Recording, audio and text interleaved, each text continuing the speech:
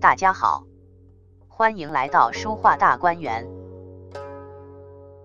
今天给大家介绍五代一名画家的《神骏图》。卷本设色，纵二十七点二厘米，横一百二十二点四厘米，收藏于辽宁省博物馆。此图描绘名士芝顿爱马、爱鹰的故事。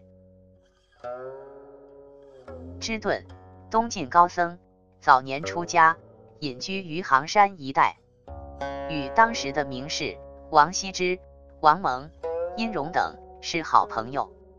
晋哀帝即位后，曾屡次派人请他出仕。芝顿崇尚玄学，是当时清谈名士的代表人物，极受人们推崇。图绘一僧一儒，具坐在岸边石榻上，后立一持鹰侍从。